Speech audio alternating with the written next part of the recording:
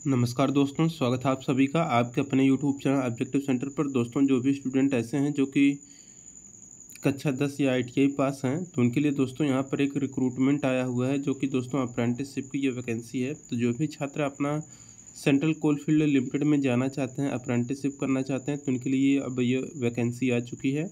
Date देख सकते हैं दोस्तों, छब्बीस आठ दो हज़ार चौबीस का यह नोटिफिकेशन जारी किया गया है। ये एडवर्टाइजमेंट या रेफरेंस नंबर है, यहाँ पर आप लोग देख सकते हैं। और यहाँ पर दोस्तों ग्यारह सौ अस्सी पदों पर ये दोस्तों वैकेंसी निकाली गई है। और यहाँ पर डिप्लोमा वाले छात्र भी एलिजिबल रहेंगे और ग्रेजुएशन वाले भी हैं यहाँ पर। तो कक्षा दस बारह आईटीआई डिप्लोमा डिग्री सभी छात्र इस वैकेंसी को फिल कर सकते हैं। अब दोस्तों यहाँ पर आप लोग देखेंगे तो यहाँ पर देखिए इलेक्ट्रीशियन की अगर हम लोग बात करें दोस्तों तो इलेक्ट्रीशियन का 280 पोस्ट है। फिटर का यहाँ पर दोस्तों 150 सीट है, डीजल मैकेनिक का तीस सीट है और वेल्डर के यहाँ पर दस सीट है। ठीक, और देखिए दोस्तों, यहाँ पर कहा गया है कि अगर आप लोग अप्लाई करना चाहते हैं इस पोस्ट पर तो आपके पास दोस्तों कक्षा दस पास होना चाहिए, प्लस संबंधित ट्रेड में आपका आईटीआई होना चाहिए। जैसे कि मैं आप लोगों को बता दूँ, अगर आप इलेक्ट्रीशियन से आईटीआई किए हुए हैं तो आपके पास 280 सीट है जो आप लोगों का अप्रेंटिस होगा, एक वर्ष का होगा, और इसके लिए योग्यता रखा गया है कि दसवीं पास हो, और इलेक्ट्रीशियन ट्रेड में आपका एन यानी कि नेशनल ट्रेड सर्टिफिकेट यानी कि आईटीआई का सर्टिफिकेट हो, और सात हज़ार रुपये पर मंथ आपको स्टिपेंड भी दिया जाएगा। और जो आप सभी लोगों का आयु होना चाहिए दोस्तों, एक आठ दो हज़ार चौबीस के आधार पर होना चाहिए, और अट्ठारह वर्ष मिनिमम पूरा होना ही होना चाहिए और अधिकतम यहाँ पर सत्ताईस वर्ष रखा गया है। ठीक?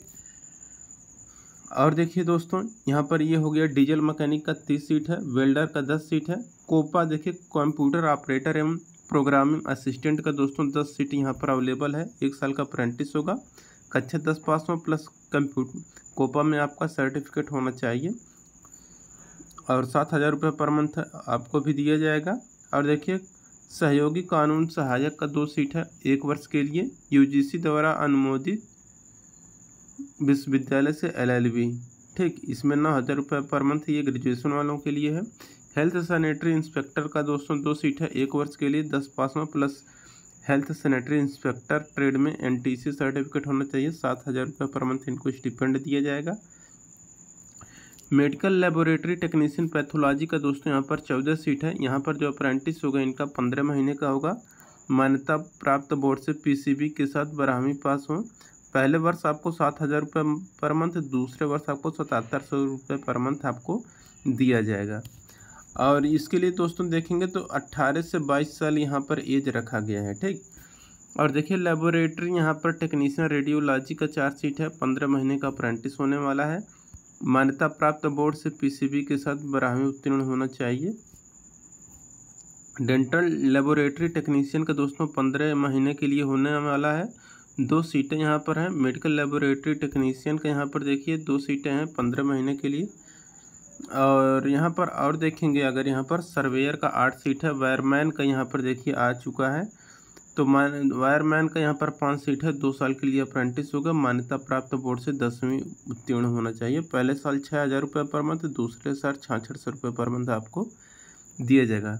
Mechanic repair and maintenance of vehicle का यहाँ पर पाँच सीट है। Multimedia and web page designer का दस सीट है।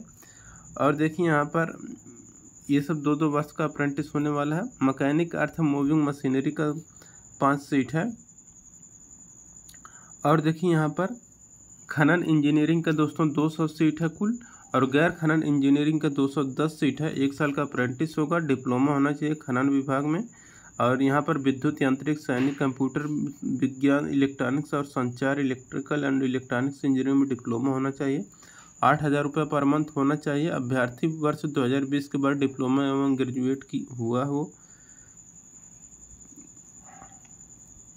और देखिए यहाँ पर है खनन इंजीनियरिंग का चौबीस सीट है, गैर खनन इंजीनियरिंग का एक सौ सत्तर सीट है, खैन, गैर खनन, गैर इंजीनियरिंग का तैंतीस सीट है, ठीक? तो एक एक साल का ये होने वाला है बी कॉम में ग्रेजुएशन होना चाहिए और यहाँ पर देख सकते हैं, विद्युत मैकेनिकल, इलेक्ट्रिकल और computer science, electrical and electronics engineering, ये सभी यहाँ पर दिया गया है।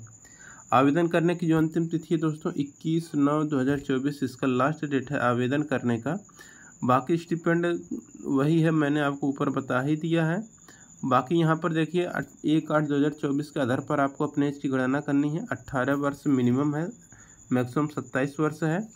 ठीक एवं आर आरक्षित वर्ग के लिए अट्ठारह से बत्तीस वर्ष है। ओबीसी वालों को तीन साल का छूट मिलेगा एस सी वालों को पाँच साल का छूट मिल जाएगा। ठीक, बाकी फ्रेश कैंडिडेट के लिए यहाँ पर वही चीज़ यहाँ पर देखिए बता दिया गया है। तो इसको बार बार हम नहीं यहाँ पर बताएँगे। लेकिन एक बार देख सकते हैं, यहीं यहीं पर कि फ्रेशर अप्रेंटिस के लिए अट्ठारह से बाईस साल एज है और टेक्नीशियन और ग्रेजुएशन अप्रेंटिस के लिए यहाँ पर 2020 के बाद डिप्लोमा होना चाहिए। बाकी यहाँ पर देखिए जो इम्पोर्टेंट चीज़ें हैं, वो यहाँ पर मैं आप लोगों को बता देता हूँ कि देखिए जो भी आवेदन करना चाहते हैं आप सभी छात्र, आवेदन करने के लिए apprenticeship India dot G O dot in के ऑफिशियल वेबसाइट पर जाके अपना रजिस्ट्रेशन करना होगा। ये आईटीआई वाले छात्रों के लिए। और जो डिप्लोमा और ग्रेजुएशन वाले हैं N dot education dot G dot in का जो ऑफिशियल वेबसाइट है, आप लोगों को इस पर जाकर रजिस्ट्रेशन करना होगा। एम्प्लॉयमेंट नोट, और यहाँ पर ये जो इस्टेब्लिशमेंट नंबर दिया है, यही डाल के आपको सर्च करना है तो वहाँ पर आपका इस्टेब्लिशमेंट आ जाएगा और वहीं से सेलेक्ट करके आप अपना अप्लाई कर पाएँगे। ठीक तो ये चीज़ें बता दी गई हैं, आप लोग देख सकते हैं। और यहाँ पर देखिए, आवेदन अभ्यर्थियों के द्वारा एनएपीएस पोर्टल पर apprenticeship India dot G dot in पर किए गए आवेदनों, जो कि दिनांक इक्कीस नौ दो हज़ार चौबीस से पहले के हों, सिर्फ़ उन पर ही विचार किया जाएगा। तो इक्कीस नौ दो हज़ार चौबीस से पहले आप अपना रजिस्ट्रेशन कर दीजिएगा।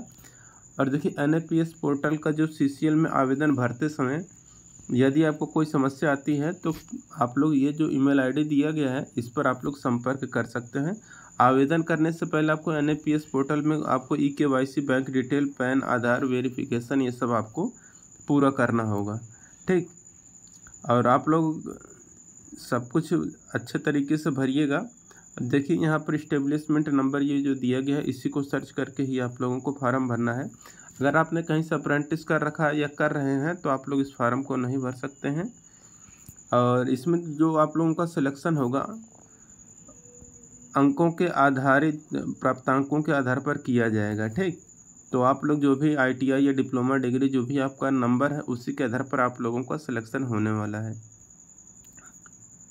और देखिए यहाँ पर कहा गया है कि अवार्ड, लेटर और अवार्डेड लेटर के बाद उम्मीदवारों को दस्तावेज़ सत्यापन के सपने, समय अपने मूल प्रमाण पत्र का सत्यापन भी करवाना होगा। ये सब जो चीज़ें दी गई हैं, आप लोग पढ़ सकते हैं। वैसे कुछ खास नहीं है। जिनको नोटिफिकेशन डाउन लेना है दोस्तों, आप लोग दोस्तों टेलीग्राम ज्वाइन कर लीजिएगा या व्हाट्सएप ग्रुप ज्वाइन कर लीजिएगा। वहाँ पर आपको मिल जाएगा, ठीक? तो वीडियो अच्छा लगा वीडियो को लाइक करिए, अपने दोस्तों के साथ शेयर करिए। मिलेंगे नेक्स्ट वीडियो में। Thank you